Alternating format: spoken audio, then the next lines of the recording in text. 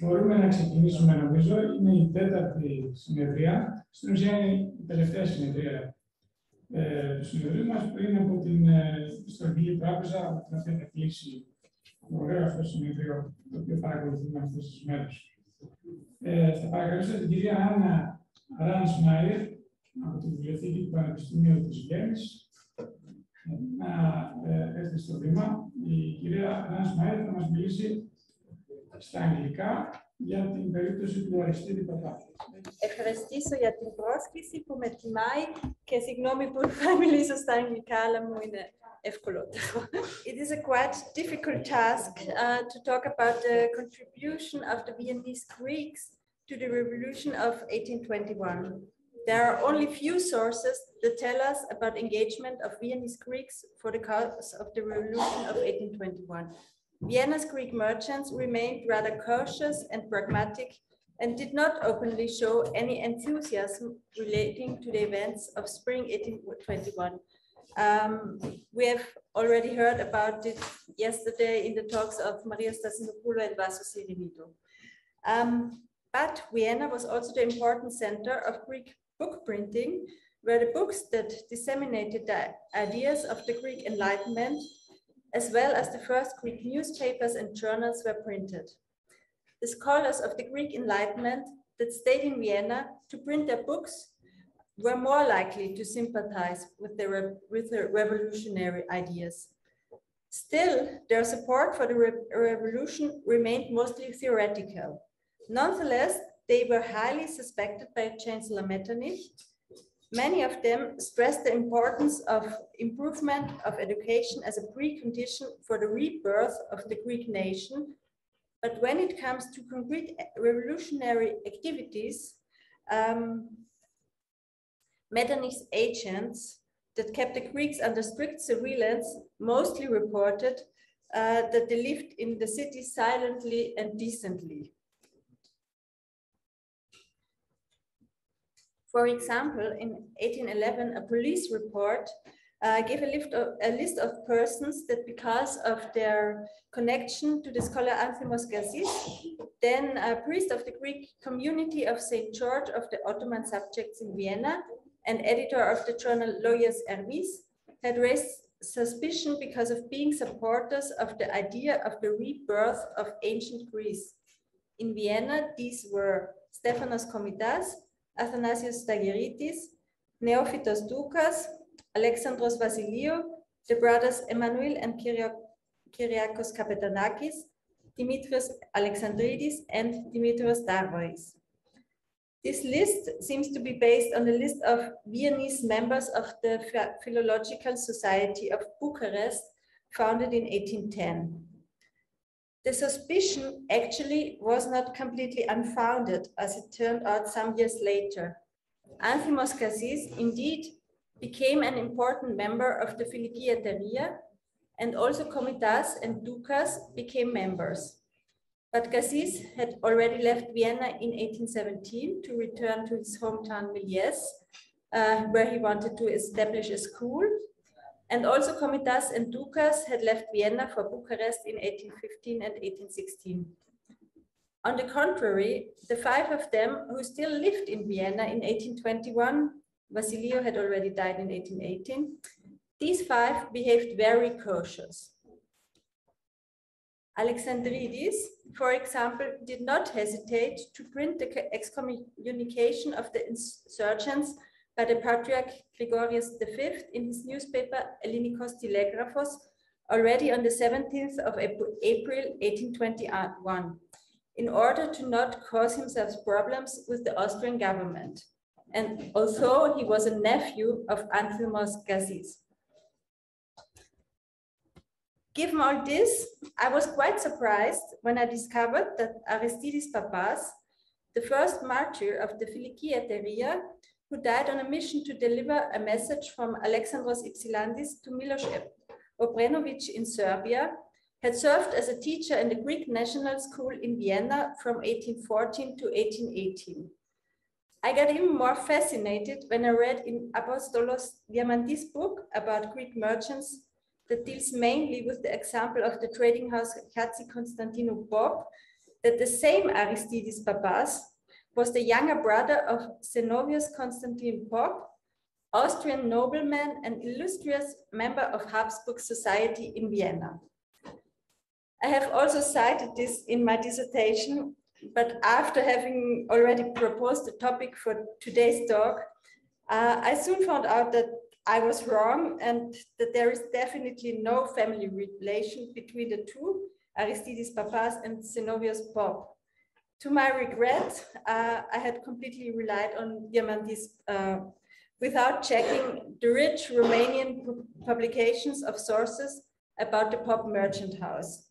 Otherwise, I could have falsified the whole story very quickly, but now it's the time to correct it.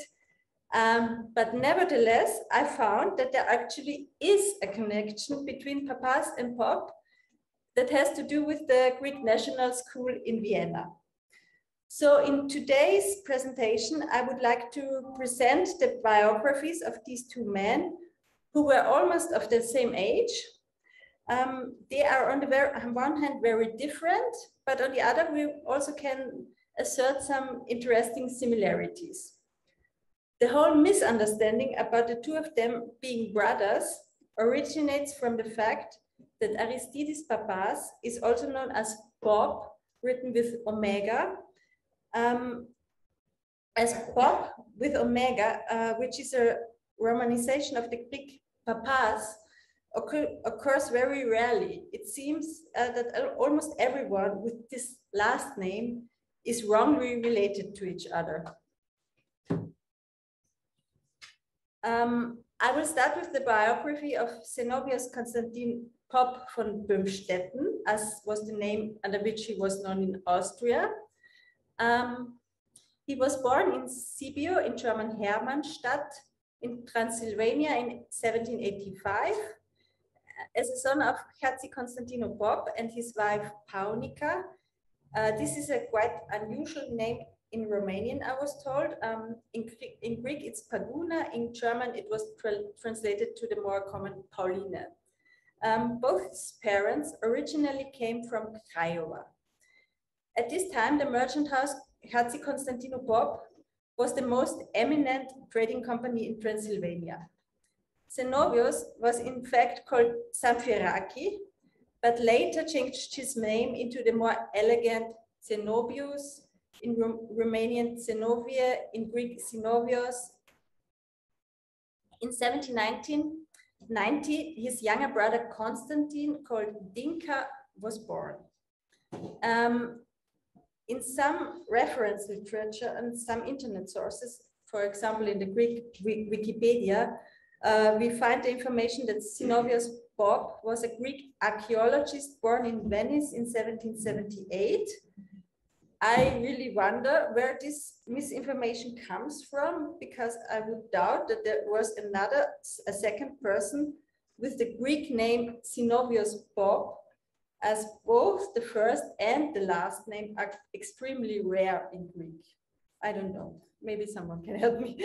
Um, at the age of 14, um, he began to attend the Princely Academy of Bucharest, where he was a student of the famous Greek scholar Lambros Phodiadis. And subsequently, he continued his studies at the University of Vienna. In Vienna, he also published the book Metricis Biblia Dio in 1803. Uh, the book appeared under his name, but it actually is a work by his teacher Lambros Phodiadis.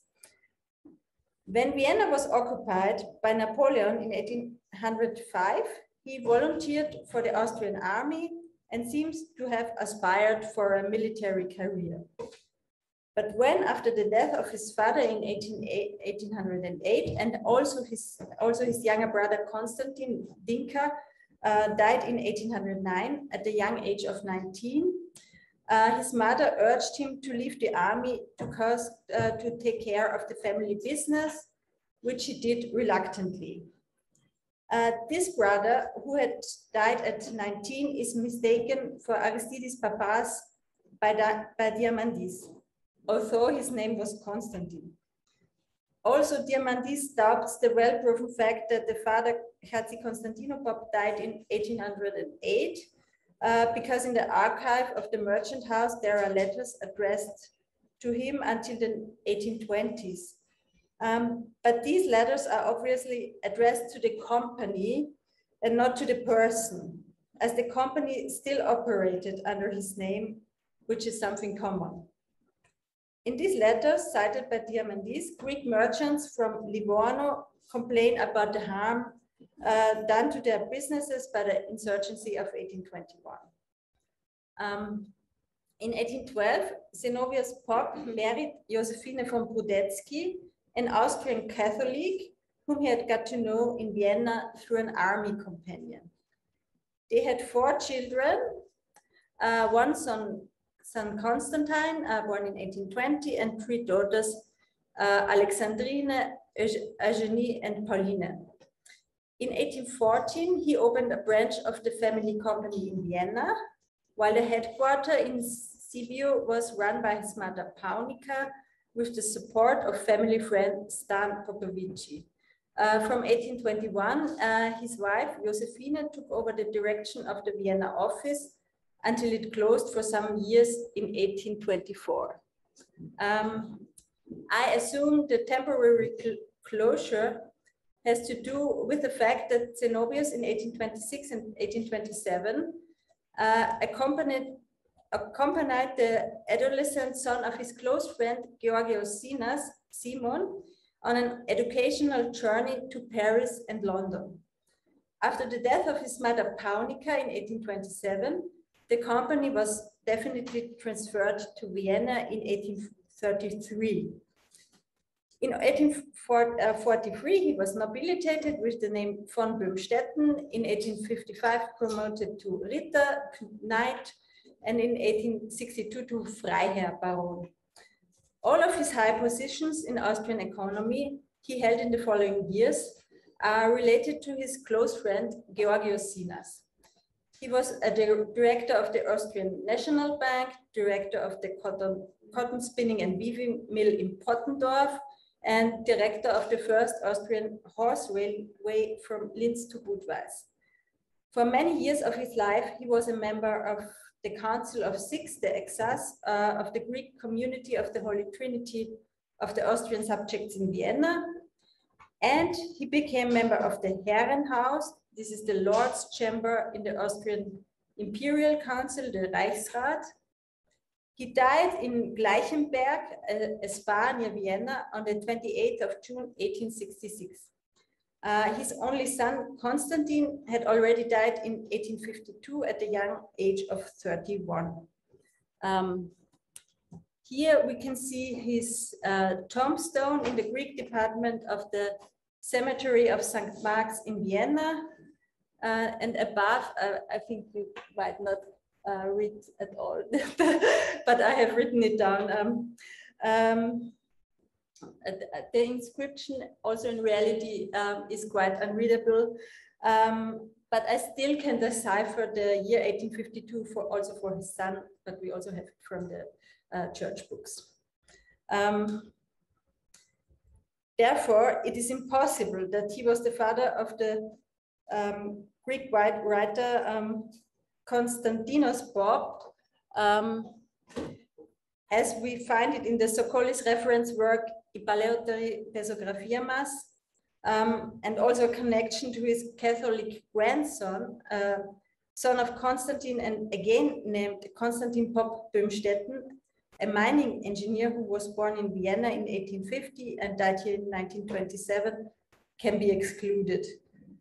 Um, so I eh, now I said Catholic grandson. I don't know if he was uh, Catholic, but I would guess so. Um, his three daughters were all Catholic, and two of them married into Austrian noble families. And the fate of the family, uh, with its complete complete absorption into Habsburg society, is quite paradigmatic for the Viennese Greeks. And now about Aristides Papas. Our knowledge about him basically comes from Ioannis Philemon's historiographical works on the Philiki Eteria and from Panayotis Sekris member list of the Eteria. He was a teacher and cleric, from Trikala in Thessaly, where he's said to be born in 1782 or 84. Uh, this is consistent with the fact that he was assumed as a teacher of ancient Greek at the Greek National School in Vienna in the year 1814. The second teacher at this time was the Greek Vlach scholar Michael Voyazi.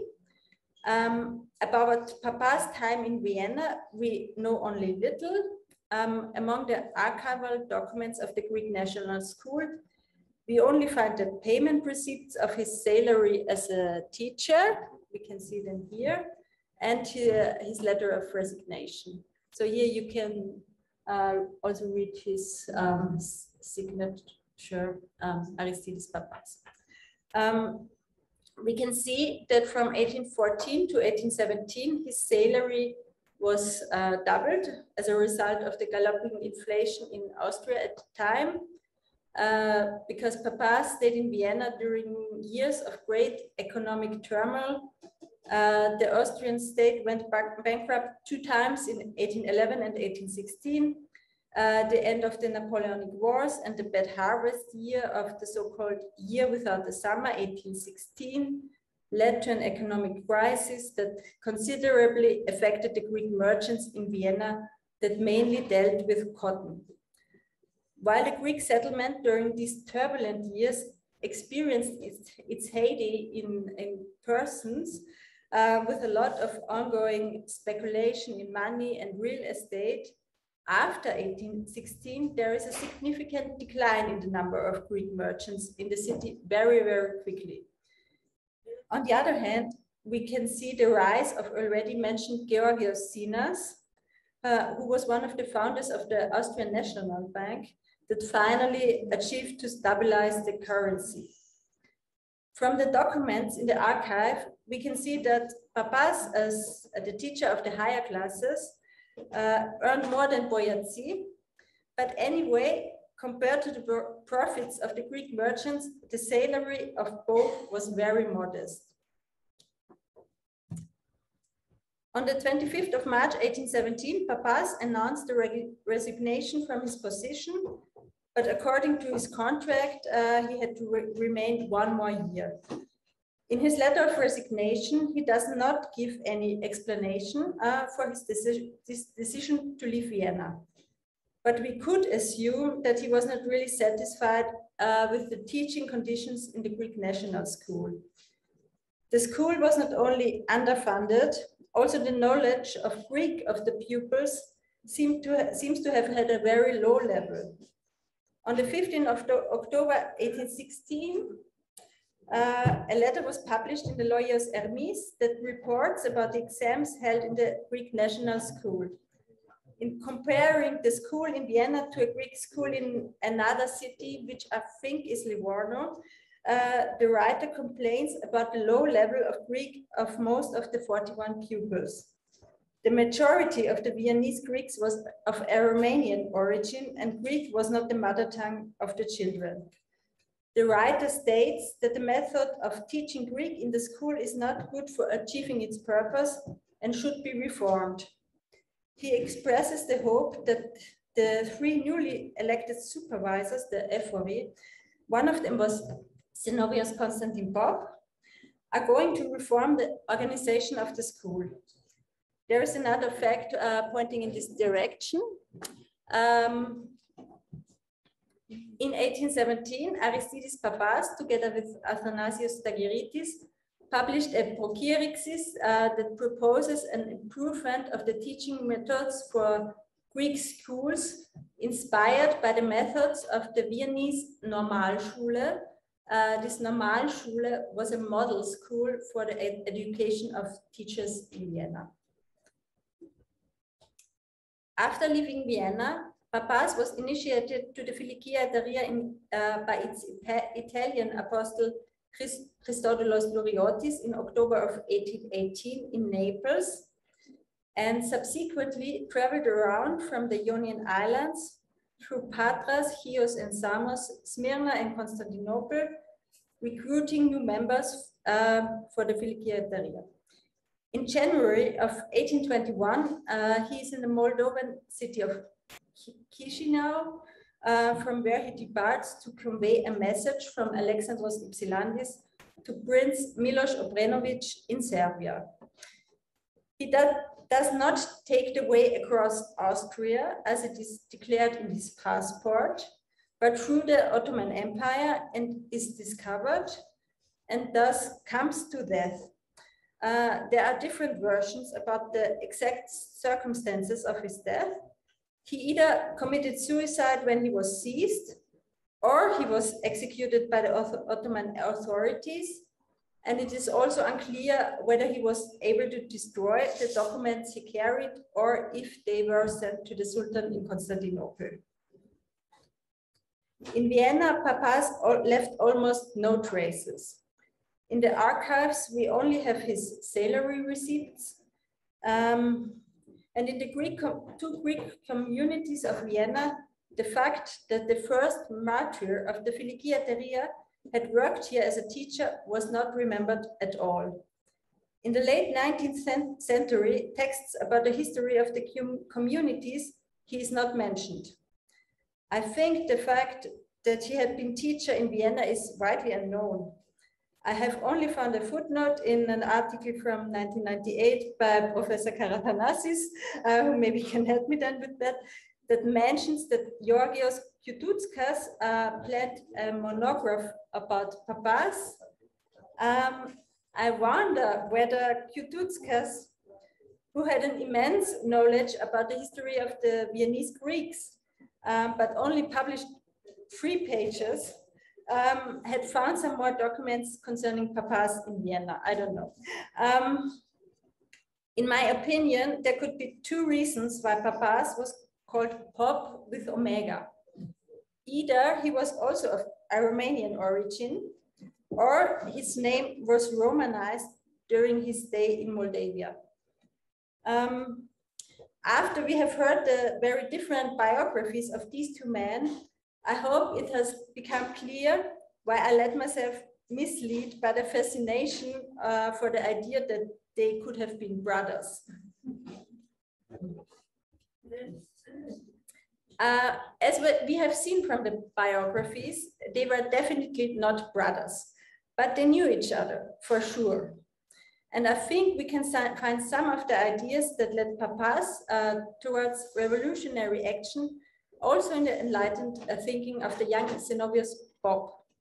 Um, in 1814, when Papas took up the job as a teacher in Vienna, Zenobius Pop was one of the few Viennese Greek merchants appearing in the list uh, of the su supporters of the Philomusos Eteria of Vienna.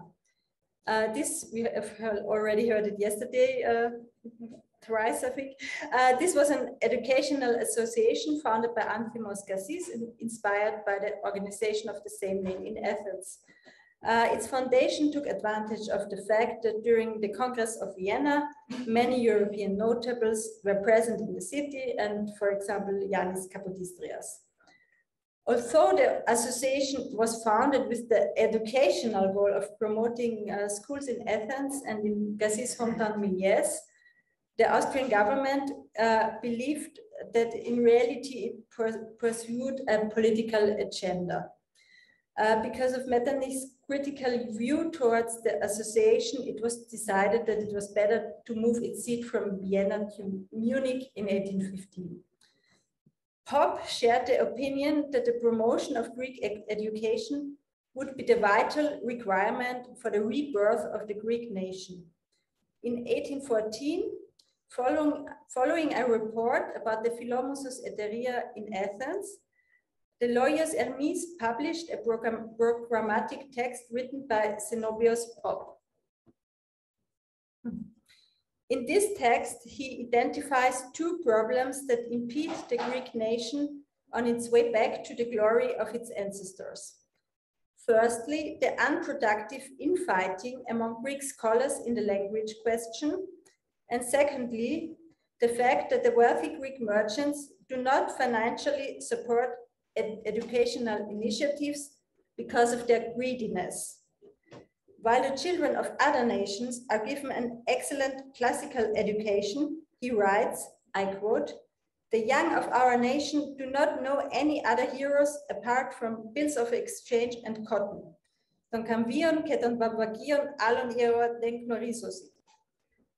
This is a bit ironic if we consider that also his own further career was based on exchange bills and cotton. But what he criticizes is the despise of his fellow merchants for the cause of Greek education. This obviously points to the fact that the Greek National School in Vienna suffered from underfunding, while many of the members of the, of the communities were in position of a considerable wealth. In fact, after Pop was elected ephorus of the school in 1816, it finally consolidated its financial status um, after it had inherited a house in the city of Vienna from the Transylvanian Greek merchant Kyriakos Polisou. Um, this is the house in, in Vienna center. Um, thus, from 1822 onwards, the school could function properly, financed from the rental incomes of this house. Nevertheless, the school never became a real success story. In his text, Pop also advises the Greeks in their efforts to, um, of educational reform to follow the examples of other nations like Germans, Italians, and French. So in their ideas about educational reform, Pop and Aristides Papas had quite similar opinions. But when Pop writes that unity and patriotism are the necessary moral preparation if we want to be ranked among, among the circle of nations, we can only speculate if he had insurgency against the Ottomans in his mind. I already mentioned that the problem of the Greek school in Vienna was that most of the pupils' mother tongue was a Romanian and not Greek. Zenobius Pop himself had an, a Romanian family background, but when he speaks of the Panhellenion and the true Greek, who is a Philopatris and has Greek blood running through his veins, it becomes clear that he perceived himself as fully Greek. This is also testified by his tombstone in the Greek department of the St. Mark's Cemetery. Um, show that um, uh, with the inscription that you cannot see it, but it is in Greek and German. Um, interestingly, here it is from 1866, this, uh, when he died, that here the Greek version is a, um, is a version of the uh, German spelling, and it's not pop with omega, but pop with omicron and 2p. Uh, although he uh, for all his life, he wrote himself with omega and 1p, but so this is funny. um, his idea of Greekness um, seems to have been a cultural one that meant to be classically educated and had less to do with the pure ethnic affiliation. According to this concept, the Vlachs in the Greek community of the Holy Trinity in Vienna had always been an inseparable part of the Greek nation. This is also the argument the community uses um, to defend itself against Romanian claims uh, of the Church of the Holy Trinity in the late 19th century. So we, we hear that again. Um, I would describe his later attitude toward, towards the newly founded Greek states more like a kind of Philhellenism than as a real bond to a homeland.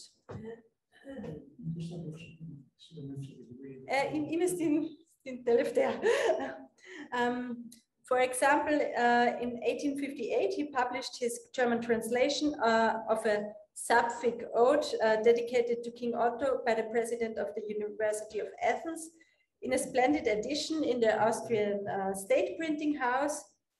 I think the same way we could also characterize the relation of his good friend Georgios Sinas to the Greek state, but while Sinas in 1827 organized a money collection for the relief of the Greek refugees from the independence war, and also added, acted as a benefactor for various institutions in the Greek state, I could not detect anything similar for Pop. When he died, the main benefactors of his testament were the Greek church in his Transylvanian hometown Sibiu, uh, the Greek Church uh, of the Holy Trinity in Vienna, and the health, health insurance of the laborers of the cotton mill in Pottendorf. Although he felt to be a proud Greek, his biography shows him much more to be a typical Habsburg Austrian. However, he is remembered much more in Romanian than in Greek or Austrian historiography. Aristides Papas, on the other hand, is known as a national hero in Greece, but not remembered in Vienna at all. Thank you.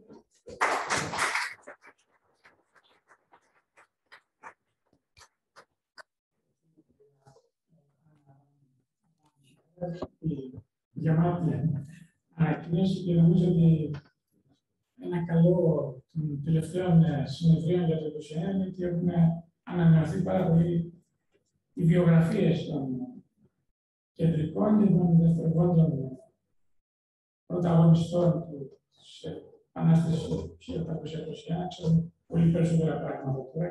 Το νομίζω θα είναι ο πλούτος όλων αυτών των εκδηλώσεων που συμβαίνουν τα τελευταία το τελευταίο διάστημα και τα τελευταία χρόνια του ερευνητικό αποτέλεσμα.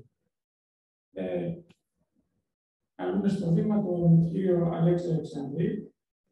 Ε, ο κύριος Αλέξης Αλεξανδρής, εκτός από πρέσβης και διπλωμάτης, είναι και βεβαίως ιστορικός, με πλούσιο έργο και ξέρουμε ότι ερευνητικά προγράμματα πολλά ακόμη ε, υπό προετοιμασία. Η σημερινή του παρουσίαση έχει την τίτλο Οικουμενική Κωνσταντινούπολη και Εθνική Αθήνα.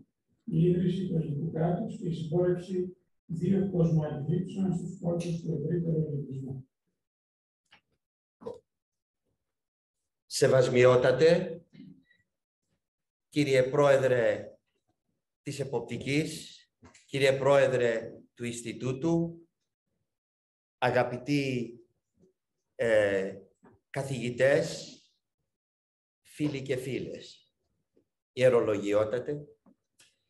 Ε, είμαι πραγματικά πολύ συγκινημένος και χαρούμενος, διότι μου δίνεται κατά τη διάρκεια της θητείας μου ως μέλος της, ε, του, ε, ε, της Εποπτικής Επιτροπής να είμαι και ε,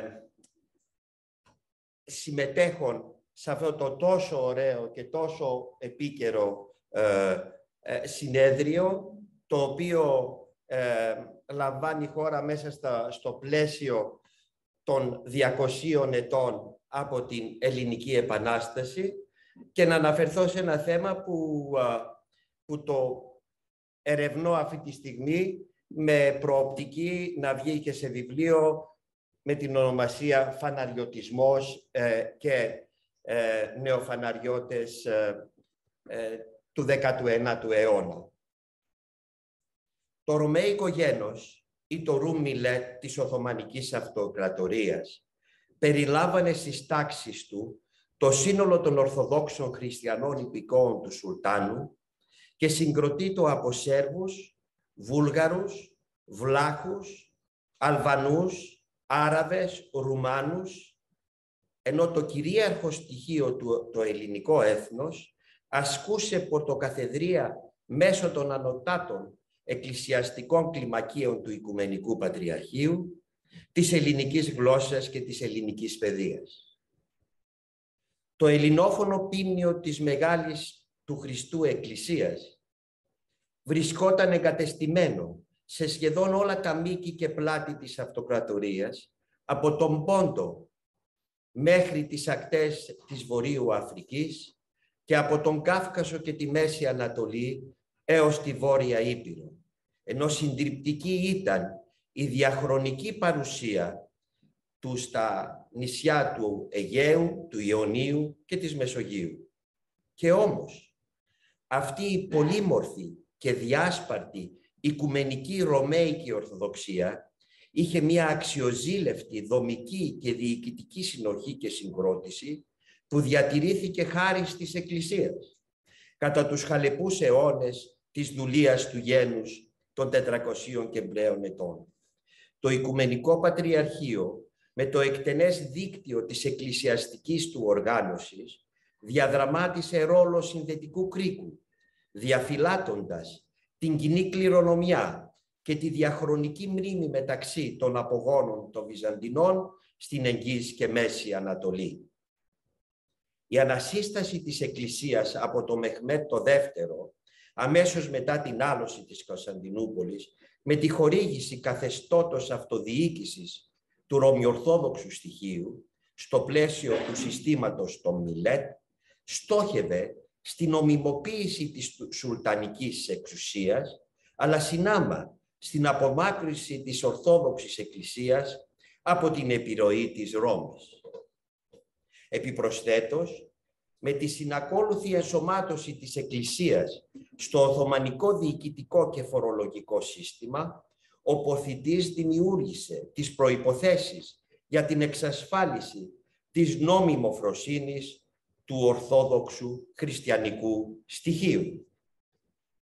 Παρά τις δυσκολίες που ενήχε για την Εκκλησία η διαβίωσή της υπό τον Οθωμανικό έλεγχο, τα υλικά και διοικητικά ωφέλη από την ένταξή του στη νέα αυτοκρατορική τάξη πραγμάτων ήταν σημαντικά.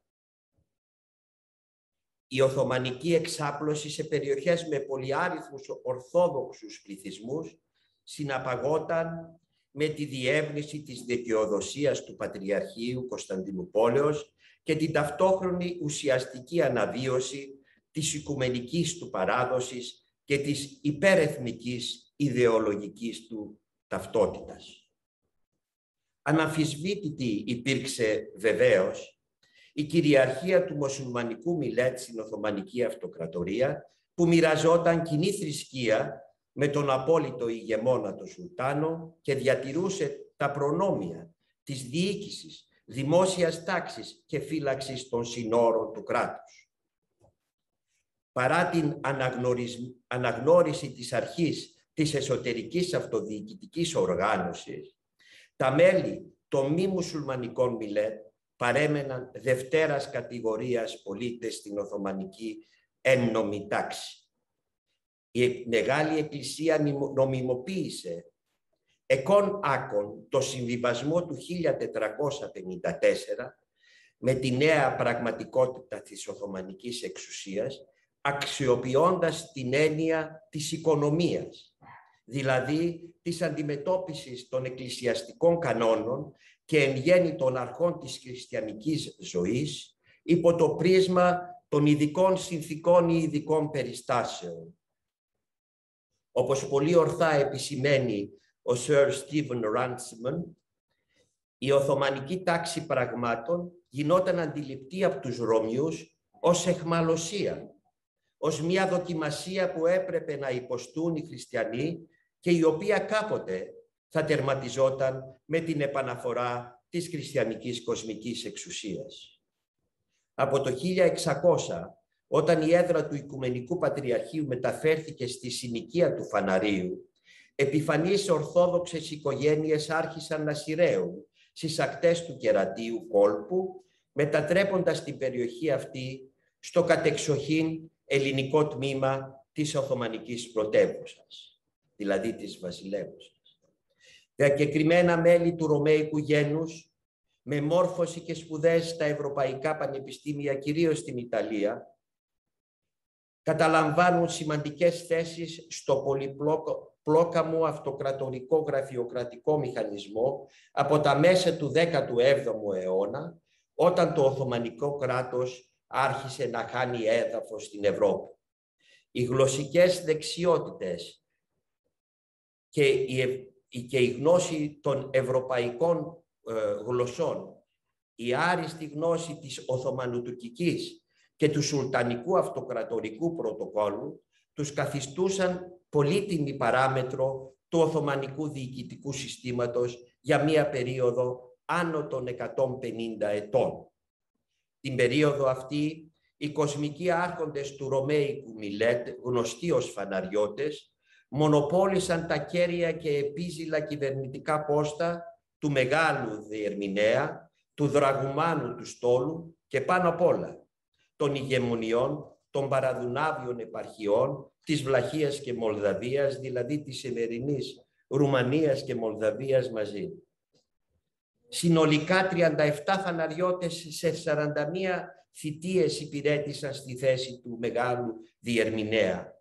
Και άλλοι τόσοι στις ηγεμονίες της Βλαχίας Μολδαβίας και στα νησιά του Αιγαίου μέχρι το ξέσπασμα της Ελληνικής Επανάστασης το 1821, όταν η παντοδύναμη φαναριώτικη αριστοκρατία έχασε την εμπιστοσύνη του Σουλτάνου και της δόθηκε απότομο και βίαιο τέλος στην εξουσία της.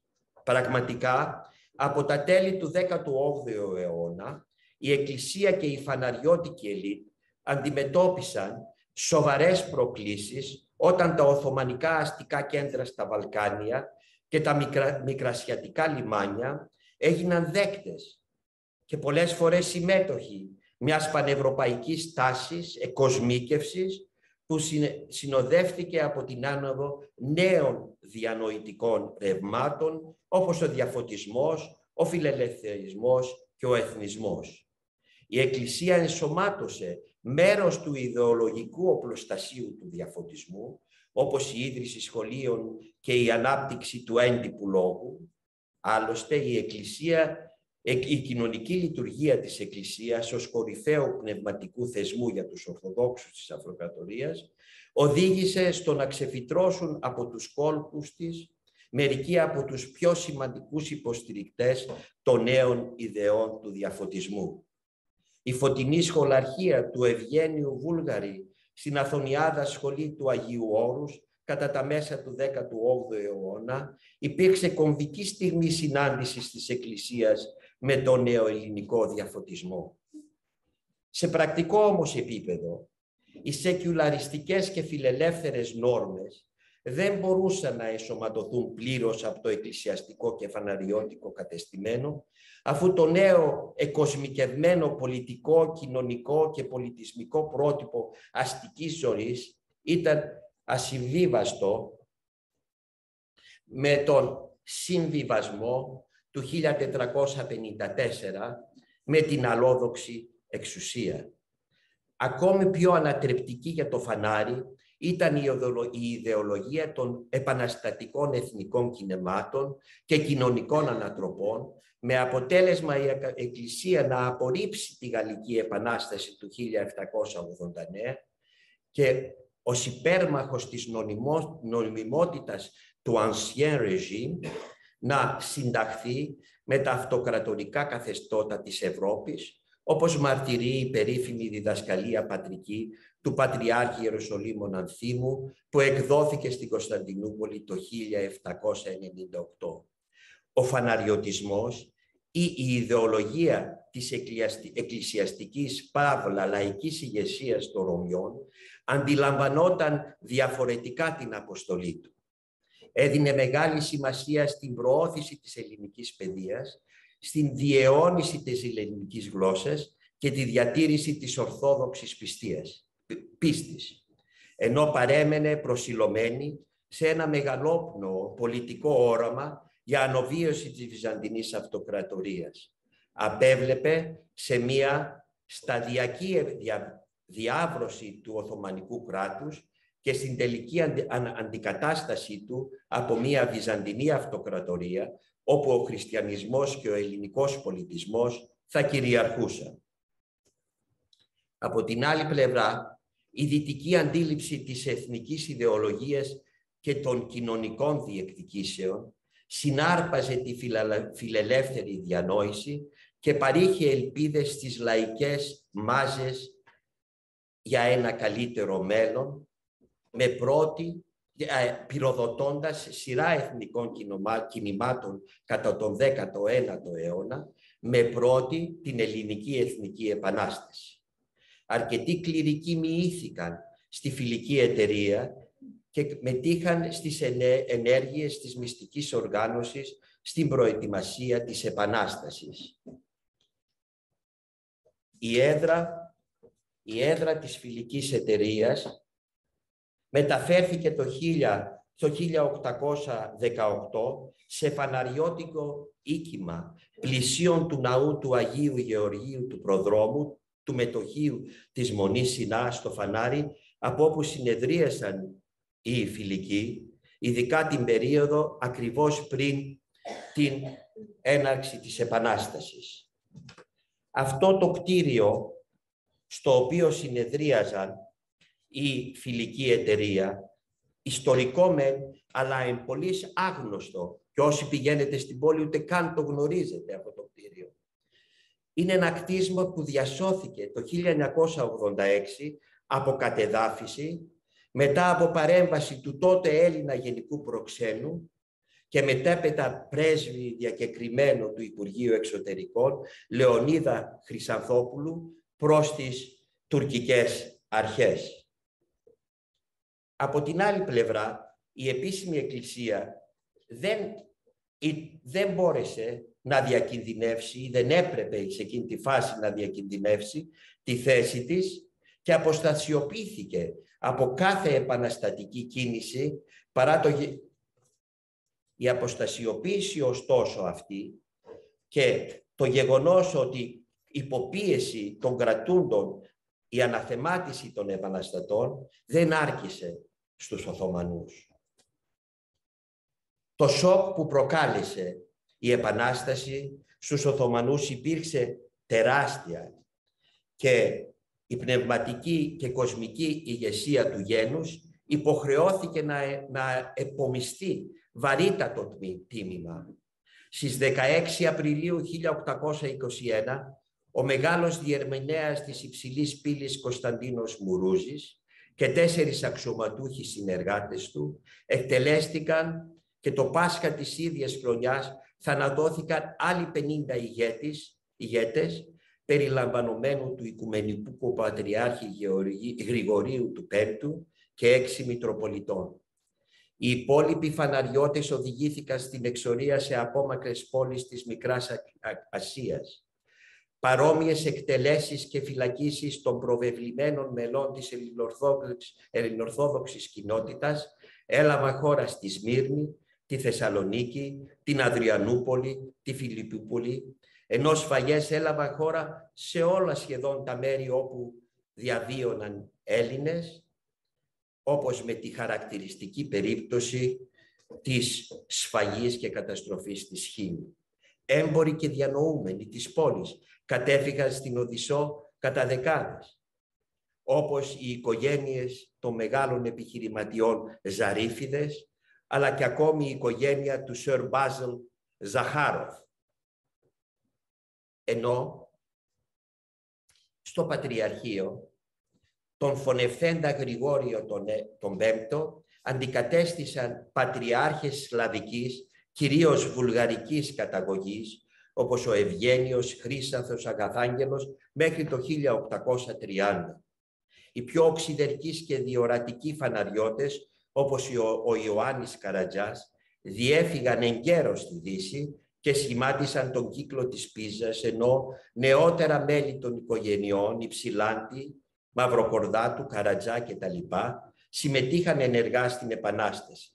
Ο Θόδωρος Νέγρης, επιτετραμένος της Οθωμανικής Αυτοκρατορίας στο Παρίσι, αυτομόλυσε και μαζί με τους υποτακτικούς του εντάχθηκαν στον εθνικό αγώνα η πρόσφατη ιστοριογραφία έχει ρίξει φως στους αγώνες και τη συμμετοχή των Ελλήνων της Μακεδονίας, Θάκρης, Μικράς Ασίας, ακόμη και των Καπαδόκων στην Ελληνική Επανάσταση.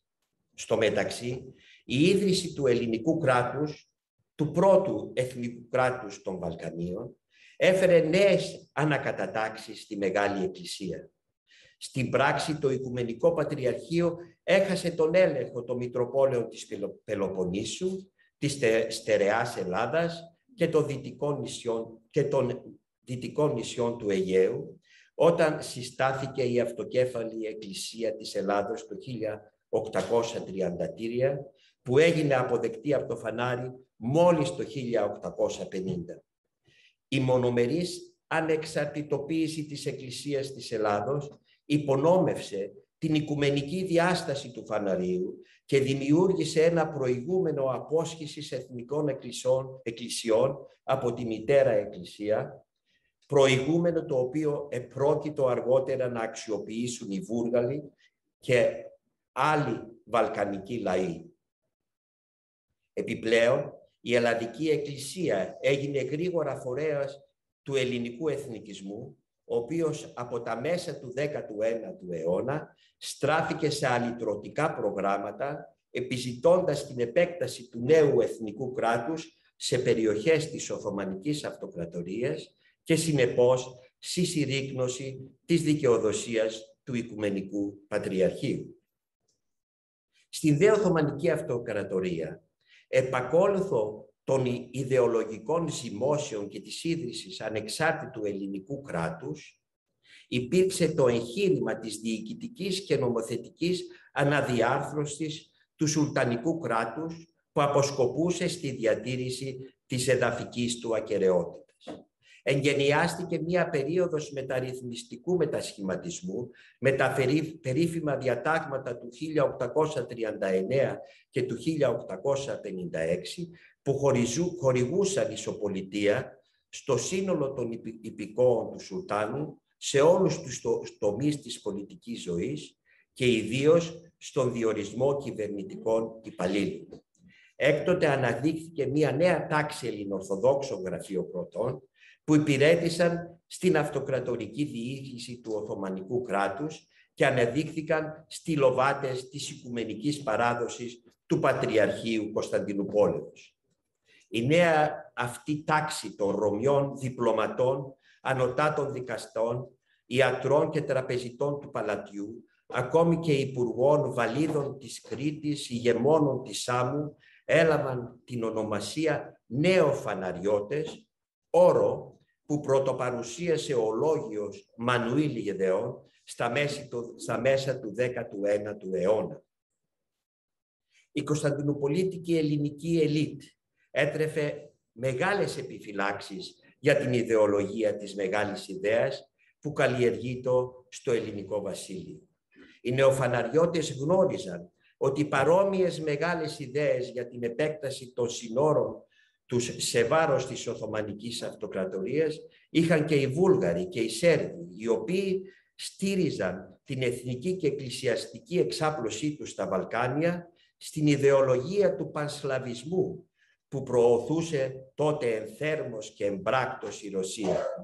Έτσι λοιπόν η Σλαβική επιλή έπεισε εμπειρικά τους Έλληνες της Οθωμανικής Αυτοκρατορίας ότι η διατήρηση του Οσμανικού κράτους σε εκείνη τη φάση ήταν προτιμότερη από το διαμελισμό της που θα άνοιγε τον ασκό του αιώλου στη Μακεδονία, Θράκη και Ήπειρο. Άλλωστε, ήταν ο Φαναριώτης, Υπουργός Εξωτερικών Αλέξανδρος Καραθεοδωρής, Πασά, που διαπραγματεύτηκε ως Οθωμανός εκπρόσωπος τη συνθήκη του Βερολίνου του 1878, ανατρέποντας το ρωσικό σχέδιο του Αγίου Στεφάνου που παραχωρούσε τη Μακεδονία και Θράκη στη Βουλγαρία και που θα οδηγούσε με μαθηματική ακρίβεια στην υποχρεωτική υποταγή των εκεί Ορθοδόξων στη σχισματική βουλγαρική εξαρχία. Όπως και οι φαναριώτες δραγουμάνοι και οι γέμονες πρόγονοί τους πριν την Ελληνική Επανάσταση, οι νεοφαναριώτες πίστευαν στη σταδιακή εκ των έσω πολιτική επικράτηση του ελληνικού στοιχείου στα εδάφη της Οθωμανικής Αυτοκρατορίας.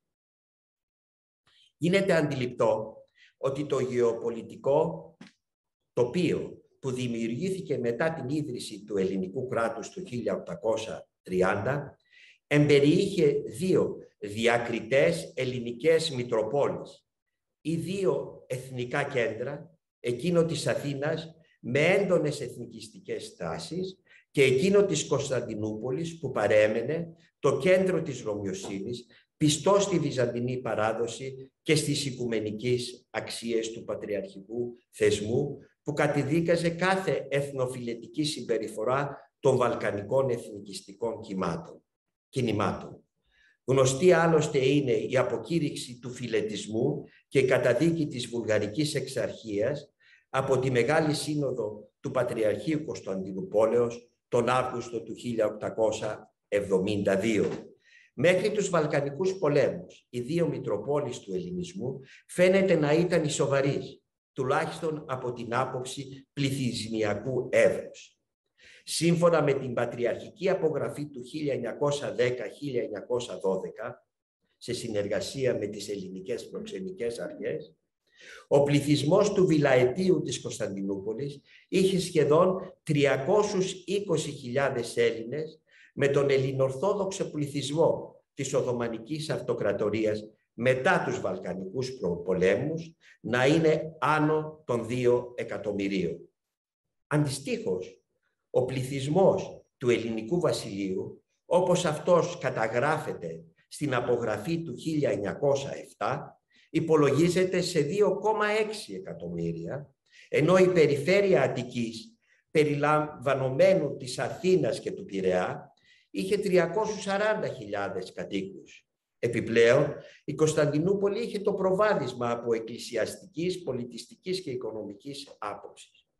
Οι συσχετισμοί όμως αυτοί άλλαξαν άρδιν την πρώτη δεκαετία του 20ου αιώνα, καθώς η Πάξ Οτομάνα άρχισε να ξεθοριάζει και να υποχωρεί με την ανάδυση εθνικών κρατών στα Βαλκάνια και την άνοδο ενός επιθετικού και ξενοφοβικού εθνικισμού στους κόλπους του τουρκικού έθνους. Το Οικουμενικό Κέντρο του Ελληνισμού υπέστη σοβαρή μείωση της δύναμής του ως εθνικού κέντρου, μια διαδικασία που ολοκληρώθηκε με την ανταλλαγή των πληθυσμών το 1922-1924. Σε αυτή την περίοδο του εθνικιστικού πάθους η νεοφαναριώτικη ηθήνουσα τάξη εξελίχθηκε σε αποδιαπομπαίο τράγο.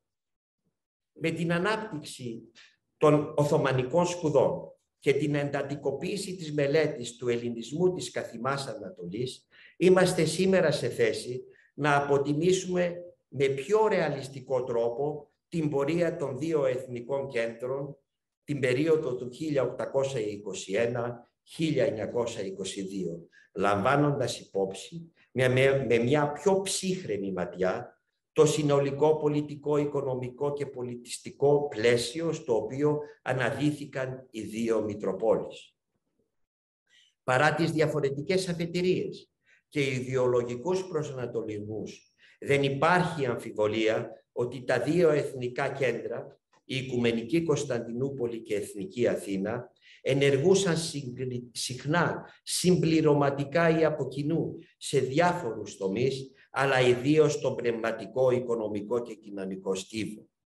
Πολλοί από τους μεγάλους ευεργέτες του γένους, που μεγαλούργησαν στην Κωνσταντινούπολη ως τραπεζίτες, βιομήχανοι, έμποροι κτλ.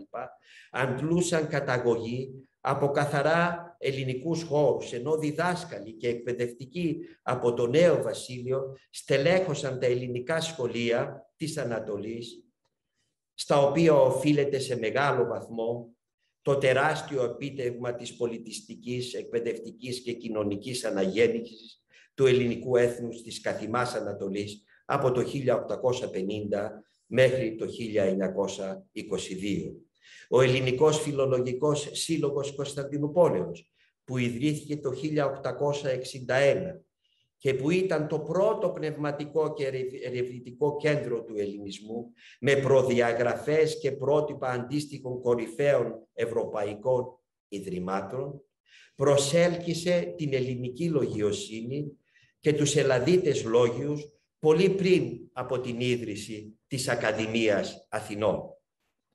Ενώ όμως το σκέλος του Ελλαδικού Εθνικού Κέντρου έχει τύχει ενδελεχούς μελέτης σε όλες τις εκφάσεις της διαχρονικής του διαδρομής, η σοβαρή επιστημονική έρευνα για την Κωνσταντινούπολίτικη διάσταση του ελληνισμού παραμένει ακόμη σχετικά περιορισμένη. Παρά την αρξιόλογη συμβολή νέων ιστορικών και ερευνητών τις τελευταίες δεκαετίες σοβαρά ερωτήματα παραμένουν αναπάντητα, με αποτέλεσμα να είναι δύσκολος ο πλήρης αναπροσδιορισμός και η ταυτοποίηση τόσο της σχέσης Κωνσταντινούπολης-Αθήνας, όσο και των ίδιων της ίδιας της ηγεσίας του ελληνισμού της Ανατολής, ενώ παραμένει ανεξερε...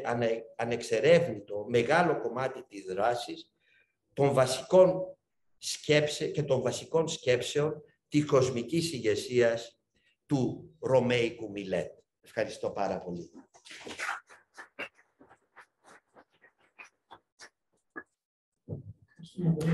Ευχαριστώ για αυτή την ενδιαφέρει συνθετική προσέγγιση των σχέσεων του Οικουμενικού Πατριαρχείου και του Εθνικού κράτου. Με πολυκύμαντες... Δεν πέρασε τα 20. Ήσασταν πολύ συνέπειοι στο χρόνο σας και τα ερωτήματα τα ερευνητικά που αφήσατε στο τέλο της ανακοίνωσής σας νομίζω ότι είναι αφορμή για συζήτηση και για περαιτέρω σκέψη και ερευνητική. Ε, καλούμε τον αγαπητό συνάδελφο κ. Ιωάννη Αναγιωτόπουλο, καθηγητή εκκλησιαστική ιστορία στο Πανεπιστήμιο Αθηνών, για την τελευταία ανακοίνωση της συνεδρίας μας με θέμα η συμβολή του Κωνσταντίνου Οικονόμου του Εξοικονόμων στη στερέωση της Ελληνική Επανάστασης του 1821 μέσω του Υπαρχιακού Λιγισμού. Σεβασμιότατε, κύριε Πρόεδρε του Εποπτικού, κύριε Πρόεδρε του Ινστιτούτου, αγαπητοί συνάδελφοι, κυρίες και κύριοι, ε, είναι ιδιαίτερη χαρά να ομιλώ μετά τον κύριο Πρέσβη και πριν ξεκινήσω να εισέλθω στο θέμα μου θα θυμηθώ ότι για τον Κωνσταντίνο Οικονόμου μία αφετηρία για μας ήταν ο μακαριστός καθηγητής μας, ο πατήρ Γιώργος Μεταλλινός, ο οποίος θυμάμαι ότι όταν ήμουνα πρωτοετής φοιτητής, εκεί μας επέλεξε σε ένα σεμινάριο και εκεί ξεκινήσαμε να μπαίνουμε σε μία συζήτηση για τον Κωνσταντίνο Οικονόμου και μου είχα την τιμή να μου δώσει ως ε, εργασία στα μεταπτυχιακά μου την πατρική και την αδελφική διδασκαλία με συγκριτική μελέτη στην οποία είναι δεδομένο πια σήμερα ότι η συμβολή του, η συγγραφική και η ιδεολογική και η πολιτική είναι δεδομένη του προσώπου αυτού, όπως φυσικά και του Πατριάρχη Γρηγορίου του Πέμπτου. Και στη συνέχεια ο καθηγητής μου, ο κύριος Φιδάς, καλή του ώρα, πάντοτε οι αναφορές στα μαθήματα της εκκλησιαστικής ιστορίας ήταν συνδεδεμένα με την προσωπικότητα του Κωνσταντίνου Οικονόμου και τα όσα μας έχει αφήσει ως παρακαταθήκη. Και τέλος, θα ήθελα πραγματικά να ευχαριστήσω τον κύριο Κουκουσά, γιατί είχα τη τιμή να, με, να μου αναθέσει ένα μάθημα στο μεταπτυχιακό, το οποίο συνεχίζει να υπάρχει και μετά την μεταφορά του εδώ στη Βενετία, που στο εκκλησιαστική ιστορία, Ελλάδα, εκκλησιαστική ιστορία και πολιτισμός, το οποίο με υποχρέωσε να ξαναδιαβάσω τον Κωνσταντίνο Οικονόμου. Και όλα τελικά για κάποιο λόγο γίνονται, γιατί έτσι ξεκίνησε αυτή η ιδιαίτερη σχέση μαζί με τον Κωνσταντίνο Οικονόμου, ο οποίος στη διάρκεια της τελευταίας πατριαρχίας του Εθνομάρτυρα Οικουμενικού Πατριάρχη Γρηγορίου του Πέμπτου, με πατριαρχική πράξη τον Ιούλιο του 1819, αναγορεύτηκε γενικός ιεροκήρυκας του Οικουμενικού Θρόνου. Θέση όμως την οποία ο ίδιος φαίνεται ότι αρνήθηκε, ενώ ήδη είχε κλείσει το φιλολογικό γυμνάσιο Σμύρνης και είχε εγκαταλείψει τη Σμύρνη μέσω Μυτιλίνης. Εκείνη την περίοδο εστάλει στις Κιδωνίες προκειμένου να επιλύσει τη ρήξη της τοπικής κοινότητας με τον Μητροπολίτη Εφέσου Διονύσιο. Η αποστολή του στέφθηκε από επιτυχία και έτσι στις 25 Μαΐου του 1820, ως αναγνώριση των ενεργειών του, έλαβε το οφίκιο του Ιεροκήρυκος της του Χριστού Μεγάλης Εκκλησίας. Το κηρυχματικό του έργο στην Κωνσταντινούπολη, αν και δεν είχε διάρκεια, απέδωσε γρήγορα καρπούς. Πέραν αυτού, δημιούργησε θεατρική ομάδα από ομογενείς και ανέβασε τους Πέρσες στο Εσχύλου. Γίνεται άμεσα αντιληπτός ο στόχος της προσπάθειάς του. Μάλιστα σκόπευε να ανεβάσει παράσταση με το έργο Κωνσταντίνος Παλαιολόγος, το οποίο είχε συγγράψει και χάθηκε κατά την εσπεσμένη αναχώρησή του από την πόλη τον Απρίλιο του 1821, όπως θα δούμε στη συνέχεια.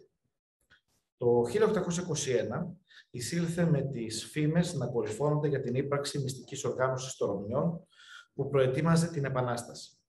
Πράγματι, τον Ιανουάριο του 1821 προσκόμισαν στο Σουλτάνο Μαχμού το δεύτερο επιστολές του Υψηλάντη στον Αλή Πασά, τις οποίες μετέφερε ο δολοφονημένος Απόστολος της Φιλικής Εταιρείας Ήπατρος, ενώ έφτασε στην υψηλή πύλη πληροφορία για την αυτοκτονία του Αριστίδη Πόπ κατά τη σύλληψή του στο Βιδίνιο, ο οποίος όμως πρόλαβε και κατέστρεψε τις επιστολές που μετέφερε.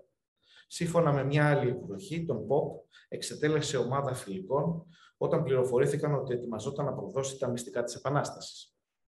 Οι πληροφορίες αυτές δεν αξιολογήθηκαν αρχικά ως ανησυχητικές από την Οθωμανική κυβέρνηση, αλλά η καταγγελία του Ασημάκη Θεοδόρου για εξηφαινόμενη συνωμοσία με στόχο τη δολοφονία του Σουλτάνου Μαχμού του δεύτερου στη Κωνσταντινούπολη, η αποκάλυψη του σχεδίου της φιλικής εταιρείας για την Κωνσταντινούπολη από τον ίδιο και η καταγγελία ονομάτων επιφανών φαναριωτών ως προτετίων μιας τέτοιας προετοιμασίας έθεσαν σε κίνηση τις Οθωμανικές υπηρεσίες. Ελήφθησαν άμεσα μέτρα με την απαγόρευση παραμονής στην Κωνσταντινούπολη των διαβατικών Ρωμιών και άρχισαν έρευνες σε σπίτια επιφανών μελών της ελληνικής κοινότητας της πόλης. Σελίδα δεν θέλει Κλίμα τρομοκρατίας που κάθε μέρα αυξανόταν με πολλές βίες ενέργειες εναντίον των Ρωμιών της πόλης, των οικογενειών, της περιουσίας και των επιχειρήσεών τους. Τα γεγονότα της έκρηξης επανάστασης στη Μολδοβλαχία πληροφορήθηκε πρώτος ο περίφημος πρόσωπο πρεσβευτής από το 1816 μέχρι και το 1821 στην Κωνσταντινούπολη, Γρηγόριος Στογκάνοφ, το πρωί της 1η Μαρτίου, και έστραξε στην υψηλή πύλη. Το ίδιο απόγευμα, οι Οθωμανικές υπηρεσίες πληροφόρησαν τον Σουλτάνο για τα γεγονότα. Για την Οθωμανική κυβέρνηση ήταν σαφές ότι η Επανάσταση ήταν υποκινούμενη από τους Ρώσους όπως ήταν λογικό να συμπεράνουν από την προκήρυξη του Αλέξανδρου Υψηλά. Η τυπική καταδίκη της Επανάστασης από τον Ρώσο πρεσβευτή και η ενημέρωση της υψηλής πύλης από δύο ευρωπαϊκές πρεσβείες ότι επίκειται κίνημα στην Πελοπόννησο, ενέτειναν την καχυποψία του Σουλτάνου. Μάλιστα στις 2 Μαρτίου διέφυγαν από την πόλη με την οικοσκευή τους και ολόκληρες τις οικογένειές τους τρεις επιφανείς φαναριώτικες οικογένειες, συγγενείς του ηγεμόνα της Μορδοβλαχίας. Μετά από αυτά τα γεγονότα, η τρομοκρατία εναντίον των χριστιανών και ειδικά των Ελλήνων επεκτάθηκε. Οι ψηλά ιστάμενοι Τούρκοι συμβούλευσαν Έλληνες φίλους τους να διαφύγουν γιατί πίστευαν ότι θα ακολουθήσει σφαγή. Πράγματι, το πρώτο δεκαήμερο του Μαρτίου παρατηρήθηκε ένα αυξανόμενο κλίμα φυγής ελληνικών οικογενειών προς την Οδυσσό, παράδειγμα χάρη του πρώην ηγεμόνα Αλέξανδρου Χαντζερή, του εύπορου εμπόρου Γεωργίου Χριστοπούλου και άλλων. Από τις 8 Μαρτίου, ο Σουλτάνος άρχισε να εκδίδει τα περίφημα φυρμάνια εναντίον των Ρωμιών, καταδικάζοντας την αποστασία τους και προκαλώντας γενική αναταραχή. Ήδη από τις 3 Μαρτίου η υψηλή πύλη με αναλόγου περιεχομένου φυρμάνι απαιτούσε από τον Οικουμενικό Πατριάρχη να καταδικάσει την Επανάσταση. Το Πατριαρχείο χρονοτριβούσε, αλλά στις 9 Μαρτίου απαιτήθηκε να αποσταλούν έκρητοι ενδημούντες στην πόλη Αρχιερής ως όμοιροι, Πράγματι, ο Εφέσου Διονύσιος, ο Δέρκον Γρηγόριος, ο Νικομιδίας Αθανάσιος, ο Θεσσαλονίκης Ιωσήφ, ο Τυρνάβου Ιωαννίκιος, ο Ανδριανοπόλος Δωρόθεος και ο Αρχιάλου Ευγένιος παραδόθηκαν στους Τούρκους. Την ίδια ημέρα, ο Σεχου Ισλάμ Χατζή Χαλίλ κλήθηκε να εκδώσει φεφτά για τη σφαγή των Γιαούριδων, ο οποίος ευρισκόμενος σε συνεχή επαφή με το Οικουμενικό Πατριαρχείο και ιδιαίτερα τον Οικουμενικό Πατριάρχη, ζήτησε χρόνο από τον Σουλτάν, ο ίδιος ζήτησε από τον Οικουμενικό Πατριάρχη να του δώσει επιχειρήματα ώστε να μην προχωρήσει στην έκδοση F7. Τότε ο Πατριάρχης εξαναγκάστηκε να εκδώσει τους αφορισμούς που απαιτούσε υψηλή πύλη και ο Σεϊχου Ισλάμ αρνήθηκε να εκδώσει F7, όπου αφού η στάση υπακοής του Οικουμενικού Πατριαρχείου στο Σιλτάνο δεν πιστοποιούσε τέτοιες ενέργειες. Βεβαίως, η στάση του, του Σεϊχου Ισλάμ κρίθηκε ως προδοτική από την Οθωμανική κυβέρνηση συνελήφθηκε και εξορίστηκε, ενώ στη διαδρομή για το τόπο εξορίας του δολοφονήθηκε. Αντίστοιχα, από τη θέση του στην Οθωμανική κυβέρνηση αποπέφθηκαν διαδοχικά οι μεγάλοι βεζίριδε Ζεδε Σαΐδα Αλή Πασά και Βεντερλή Αλή Πασά ως ακολουθώντας ήπια πολιτική έναντι των Ελλήνων. Οι ενέργειες της Οθωμανικής κυβέρνησης οδήγησαν στην πάυση της οικονομικής δραστηριότητας στην πόλη, ενώ οι σφαγές των Ελλήνων και οι λαιλασίε των σπιτιών τους αυξάνονταν γεωμετρικά, φτάνοντας μέχρι και τη σύλληση των χριστιανικών νεκροταφείων. Με σουλτανικό φυρμάνι απαγορεύτηκε η φυγή των Ελλήνων, ενώ απαιτήθηκε η νιοψία όλων των πλοίων με ξένη σημαία πρώτης αποχώρησής τους. Μόνο ο Ρώσος πρεσβευτής αρνήθηκε να αποδεχθεί σχετικό αίτημα, σώζοντας τις ζωές εκατοντάδων επιφανών Ελλήνων της πόλης. Στις 24 Μαρτίου άρχισαν οι σφαγές των φαναριωτών ο Νικόλαος Καναβής, ο Μιχαήλ Μάνος, ο Μέγας Λογοθέτης Θεόδωρος Ρίζος, ο Αλέξανδρος Φωτεινός και τέλος ο Εφέσου Διονύσιος Καλλιάρχης. Αλλά η πληροφορία για την Επανάσταση στην Πελοπόννησο έφτασε στην πόλη μόλις νύχτωνε η 31η Μαρτίου. Μέχρι την 4η Απριλίου, διαδοχικά και λεωφόροι μετέφεραν τα νέα της Επανάστασης από την Ελλάδα. Έτσι, από την 1η Απριλίου άρχισε νέος κύκλος φαγών και λαϊλασιών. Τη Μεγάλη Δευτέρα εκτελέστηκε ο Μέγας Διερμηνεύς της πύλης Κωνσταντίνος Μουρούζης και το δράμα κορυφώθηκε με το μαρτύριο του Οικουμενικού Πατριάρχη Γρηγορίου του Πέμπτου. Εκείνες τις ημέρες, ο δραστήριος φιλικός Σταμάτης Κουμπάρης, μετά από 9 ημέρες ταξίδι, έφτασε στην Κωνσταντινούπολη στις 29 Μαρτίου, σημειώνοντας ότι στη διαδρομή του από την Οδυσσό συναντούσε συνεχώς πλοία γεμάτα με πρόσφυγες. Στο ίδιο κείμενο περιγράφει την κατάσταση στην Κωνσταντινούπολη και την τρομοκρατία βάρος των Ελλήνων. Αλλά ένα από τα πιο ενδιαφέροντα σημεία της περιγραφής του είναι η φυγή του Κωνσταντίνου Οικονόμου από την πόλη. Τη μεγάλη τετράδη πρώτης εσπέρα φεύγει ο Παπακοσταντίνο Οικονόμου, η ιεροκήρυξη της Μεγάλης Εκκλησίας, όπου ήτο στο φανάρι, ει φύλαξη μαζί με τον φαμίλια ενός Μουρούζη. Αυτός, ο Οικονόμος, έρχεται με το σκότωση στο μαγαζί μας, τρομαχμένο και σκεπασμένο στην κεφαλή με ένα σάλι, και ζητεί ω έλεο το καταφύγιο για να γλιτώσει τη ζωή του. Εξενύχτησε νησί και το πρωί εγώ και ο Κυριάκος, εννοεί το αδελφός του, τον επήραμε και τον επαγήσαμε μέσα εις έναν πλοίο μας, τάχα ως ιερεύς, για να διαβάσει αγιασμό και τον αφήσαμε εις την κάμαρα. Αυτό το πλοίο μας εστέκετο εις το κρασόσκαλα, φορτωμένο κρασιά από το εναρτάκι, και ο πλοίαρχος Γρηγόριος Αλεξίου αργοπορούσε για να κλέψει τη σύζυγό του και τους συγγενείς της εκείνο το βράδυ και το κατόρθωσε. Την Μεγάλη Παρασκευή αναχωρήσαμε. Είχαμε στο πλοίο μας 18 υποκείμενα, φυγάδες, κρυμμένους αναμεταξύ στα βαρέλια με το κρασί. Τα γεγονότα της φυγής του μνημονεύει ο ίδιος ο Κωνσταντίνος Οικονόμος. Σε επιστολή προς τον αδελφό του Στέφανο από την Οδυσσό, ο οποίος είχε καταφύγει εδώ στη Βενετία, και αναφέρεται σε σκηνές τρομοκρατίας που έζησε κατά τη μετάβασή του στο πλοίο της διαφυγής του. Μάλιστα, η βολή ενός τόρκου του πήρε το καλυμάφι από το κεφάλι δεν είναι λίγοι όσοι υποστηρίζουν ότι ο ίδιος ο μαρτυρικός πατριάρχης έδωσε εντολή στον οικονόμο να διαφύγει από την πόλη προκειμένου να διασωθεί. Η εκτέλεση της θανατικής καταδίκης του Οικουμενικού Πατριάρχη Γρηγορίου με τρόπο προβδηλά προσβλητικό για το γένος, αλλά και σύνολο τον ευρωπαϊκό κόσμο και τη χριστιανοσύνη συνάμα, στην κεντρική πύλη του Πατριαρχείου, ανήμερα του Πάσχα της 10 Απριλίου του 1821, και ο πολυήμερος ευτελισμός του σκηνώσματός του, προκάλεσαν παγκόσμια αγανάκτηση. Η γνωστή σε όλους μας διάσωση του σεπτού κοινόματος και η μεταφορά του στην Οδυσσό ακολούθησε την επισημότατη κίδευση του ταγού των χριστιανών της Ανατολής με αυτοκρατορικές τιμές από τον Τσάρο της Ρωσίας στο Μητροπολιτικό Ναό της Οδυσσό, Οδυσσού στις 19 Ιουνίου του 1821. Εκεί τον επικίδιο εξεφώνησε ο Κωνσταντίνος Οικονόμος. Στη μεγαλοπρεπή κηδεία του Εθνομάρτυρα Πατριάρχη, με τον περίφημο επικίδιον εις τον Πατριάρχη Γρηγόριο το Πέμπτο, ο οικονόμου μίλησε για πρώτη φορά σε διεθνή περιβάλλοντα, προκαλώντας ένα κύμα συγκίνησης.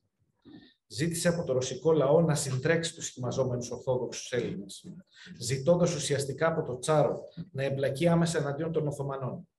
Ήταν τέτοια η εντύπωση που προκάλεσε η ομιλία του, που ο Τσάρος Αλέξανδρος τον παρασημοφόρησε και το κυριότερο του παρέσχει η Σόβια Σύνταξη, η οποία του επέτρεψε να επιβιώσει και να δράσει ελεύθερος από τις βιωτικές ανάγκες σε όλη τη διάρκεια της παραμονής του στη Ρωσία.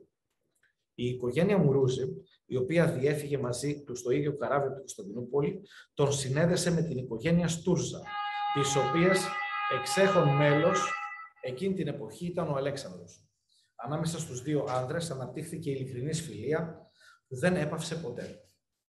Ο Αλέξανδρος Στούρζας η Στούρτζα υπήρξε γόνος των ηγεμονικών οικογενειών της Μολδοβλαχίας τόσο από τον πατέρα του όσο και από τη μητέρα του. Γεννήθηκε στο Ιάσιο, πρωτεύουσα της τότε ηγεμονίας της Μολδαβίας το έτος 1791. Αλλά το επόμενο έτος και μετά τη συνθήκη του Ιασίου 1792, η οικογένεια εγκαταστάθηκε στα περίχωρα της Αγίας Πετρούπολης, με, με χτήματα που παραχωρήθηκαν στην οικογένειά του. Ο νεαρός Αλέξανδρος έτυχε επιμελούς παιδείας και φίτησε στη Θεολογική Ακαδημία και στο Πανεπιστήμιο της Αγίας Πετρούπολη. Εισήλθε στην υπηρεσία του Υπουργείου Εξωτερικών της Ρωσίας το 1809 και αφού υπηρέτησε σε διάφορες θέσεις, έγινε μέλος του διπλωματικού γραφείου του κόμι Ιωάννη Καποδίστρια και το συνόδευσε στις αποστολές του στη διάσκεψη των Παρισίων και στη συνέχεια σε εργασίες του Μεγάλου Συνεδρίου της Βιέννης το 1815.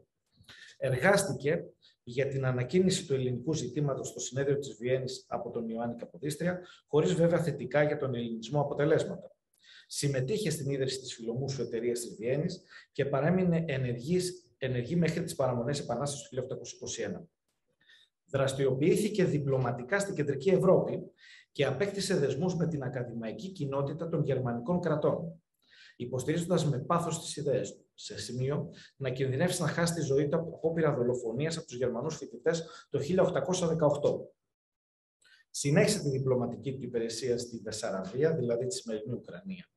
Τα σοβαρά προβλήματα υγείας με την όρασή του τον υποχρέωσαν να αποσυρθεί αρχικά στα οικογενειακά χτήματα της Οδυσσού και να ταξιδέψει στη Γερμανία, την Ελβετία, την Ιταλία και τη Γαλλία για θεραπεία. Το 1828 τοποθετήθηκε από το Υπουργείο Εξωτερικών της Ρωσίας στις παραδονάβε ηγεμονίες ως εκπρόσωπος στη μεταβατική διοίκηση, ενώ το 1830 αποσύρθηκε πλήρως από την υπηρεσία. Εργάστηκε για την ελληνική υπόθεση σε όλη τη διάρκεια της Επανάστασης και συνέβαλε στην ανασυγκρότηση του ελληνικού εκπαιδευτικού συστήματος κατά την περίοδο της διακυβέρνησης του Ιωάννη Καποδίστρια. Άρρωστος με βαριά ημιπληγία από το 1852, κατέληξε στο θάνατο του 1854 στην Οδυσσό. Οι σπουδές του Αλέξανδρου Στούρζα και η συμμετοχή του στους ακαδημαϊκούς κύκλους της εποχής τον κατέστησαν δόκιμο συγγραφέα πολιτικών αλλά και θεολογικών έργων, καθώς υπήρξε διαπρίσιος υποστηρικτής της Ορθοδόξου Εκκλησίας και ιδιαίτερος του Οικουμενικού Πατριαρχείου. Εδώ θα ήθελα να σημειώσω, γιατί ακούσα διάφορες ομιλίες που εισηγήθηκαν τις προηγούμενες μέρες, ότι όταν μιλάμε για Ορθοδοξία δεν μιλάμε για Ορθοδοξισμό, δεν είναι ιδεολογία για τους Στούρτζα. Η Ορθοδοξία είναι η Ορθόδοξη Εκκλησία. Είναι μια τελείως άλλη πραγματικότητα και για τον κύκλο του Στούρτζα και τους ανθρώπου του Καποδίστρια. Μεταξύ των πολιτικών του έργων, ιδιαίτερο ενδιαφέρον παρουσιάζει η δημοσίευση ανωνύμως στη γαλλική γλώσσα στο Παρίσι το 1823 του δοκιμίου με τίτλο «Λαγκρές η Ελλάδα από το 1821 στο 1822 και σκοπό να πληροφορήσει την ευρωπαϊκή κοινή γνώμη ότι η ελληνική επανάσταση δεν είχε κοινωνικό ανατρεπτικό χαρακτήρα, αλλά εθνικό απελευθερωτικό. Το έργο έχει τη μορφή 12 επιστολών από έναν ανώνυμο Έλληνα, με τις οποίες πληροφορεί το κόσμο για την εξέλιξη του ελληνικού ζητήματος. Το κείμενο αυτό αγκαλιάστηκε από το φιλελληνικό κίνημα και το ίδιο έτος εκδόθηκε στη Λιψία για να ενισχύσει το φιλελληνικό κίνημα στο γερμανόφωνο κόσμο με μετάφραση του εγνωσμένου κύριου καθηγητή για την εποχή του Βίλχεμ Τρέγκοτ Κρούκ, ο οποίος διαδέχτηκε τον ΚΑΤ στην έδρα της φιλοσοφίας.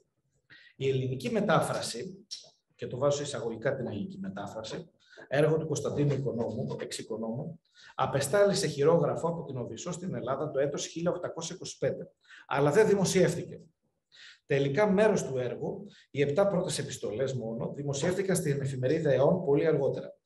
Σήμερα, ολόκληρη μετάφραση σώζεται σε αυτόγραφο χειρόγραφο του Κωνσταντίνου Οικονόμου Εξοικονόμων στη βιβλιοθήκη της Ιεράς Μεγής της Μονής Βατοπεδίου με ευλογία του Αγίου Καθηγουμένου Σειράς Μονής Βατοπεδίου Γέροντος Εφρέμου, ο οποίος περνάει αυτές τις μέρες μια μεγάλη δυσκολία και ευελπιστούμε να τη ξεπεράσει προς όφελος της Ορθοδοξίας και του Ελληνισμού.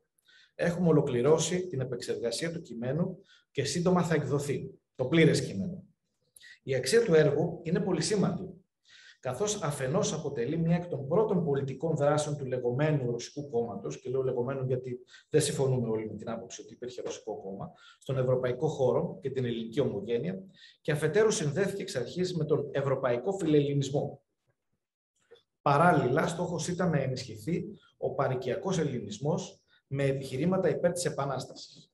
Σημειώνει ενδεικτικά στο κείμενο. Η χριστιανική πίστη είναι και εξαιρετικά επίκαιρο αυτό το κομμάτι, γι' αυτό και το επέλεξα. Είναι από, τα, είναι από το ανέκδοτο τμήμα.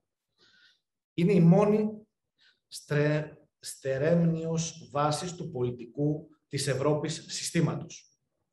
Όλα τα πάρεργα της οικοδομής, ταύτης της μεγάλης, όσα δεν έχουν βάση την πίστη, είναι οικοδομημένα επάνω στην άστατον άμμο της ιδιοφελίας.